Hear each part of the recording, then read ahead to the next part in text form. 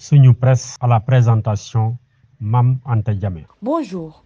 Le choix du Premier ministre Amdouba comme candidat du compte de la majorité à l'élection présidentielle de février 2024 et le séisme meurtrier qui a frappé le Maroc dans la nuit de vendredi à samedi font le menu des quotidiens.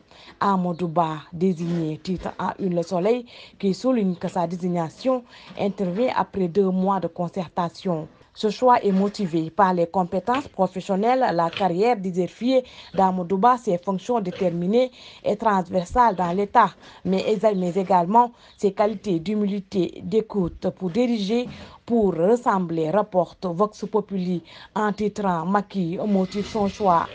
C'est un choix concerté et collégial, a encore souligné la publication en reprenant des éléments du discours de Macky Sall, lu lors de cette rencontre par l'ancien président de l'Assemblée nationale, Moustapha Niassa candidature de Benno à la présidentielle de 2024, Macky Sall intronise Amadouba, notre Sud Quotidien, tandis que le journal Enquête affiche à sa une Amadouba, le nouveau fer de lance de la coalition Benno Bokayaka pour la présidentielle. Benno à l'heure de AM, ironise Wolf Quotidien. Selon Bosby, la désignation d'Amadouba comme candidat de Benno Bokayaka fait de lui la cible parfaite, car il sera attendu par l'opposition et ses camarades de parti.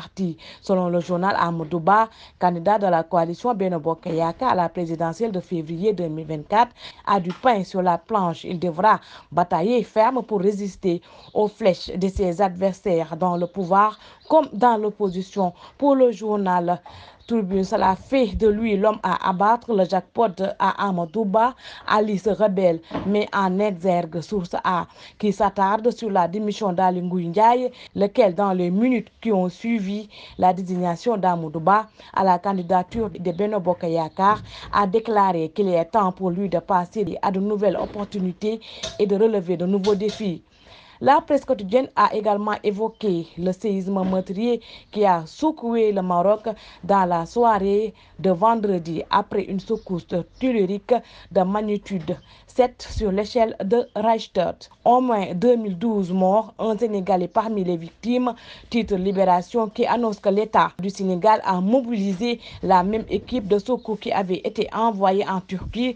Le journal souligne que Dakar attend le feu vert du Maroc le séisme qui a frappé vendredi soir le Maroc a causé au moins 2012 morts et 2059 blessés, dont 1404 dans un état grave, rapporte la publication, en faisant savoir que le ministère des Affaires étrangères a confirmé le décès d'un compatriote dans ce tremblement de terre. Le journal Libération, dans sa publication de ce lundi 11 septembre 2023 s'est intéressé à l'assassinat d'un concurrent tué à coups de couteau. Sport, football, stade, Mané, Mehrez. La rivalité continue. Lutsunu Lamb traqué par Franck Rec à la croisée du chemin, titre le journal. Bonne lecture. Une presse vous a été offert par l'Agence sénégalaise de la reforestation et de la Grande Muraille Verte.